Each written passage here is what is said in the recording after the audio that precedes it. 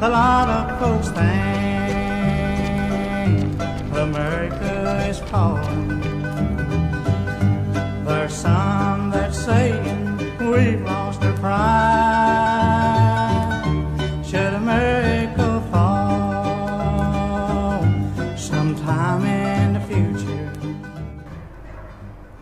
These kids go over and they're gonna, they really feel like they're gonna try to save these people and uh, help the country out and stuff, and everybody there is shooting at them. And after the third or fourth kid that tries to kill you or something else, you're gonna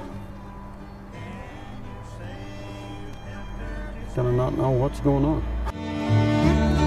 Oh, can you think of some contribution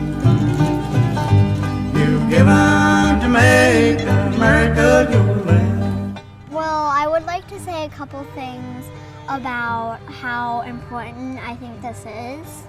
I think this is important because it's helping for charity, one, and then it's also like breaking a record, which is really cool. And then there's a bunch of other stuff that's really neat about it. So.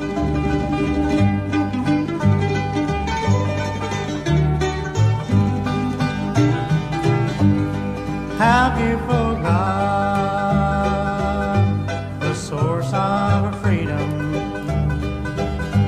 Is it hard to remember those that have died? If America called on you to defend her, would you be willing to stand by her side? Oh, can you say